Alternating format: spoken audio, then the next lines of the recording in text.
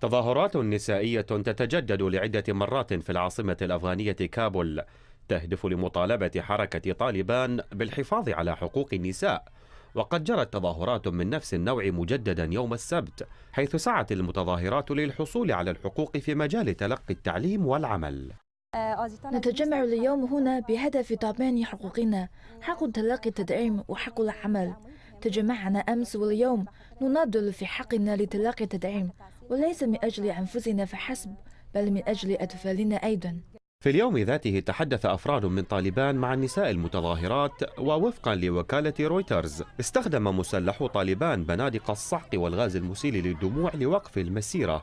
وقال مصدر آخر إن هناك أفراد من القوات الخاصة لطالبان أطلقت النار نحو السماء لتفريق المسيرة والتحذير من الاستمرار فيها. وقال مصدر آخر إن هناك أفراد من القوات الخاصة لطالبان أطلقوا النار نحو السماء لتفريق المسيرة والتحذير من الاستمرار فيها إلى أن المشاهد المذكورة لم تظهر في الصور الحية التي التقطتها وسائل الإعلام.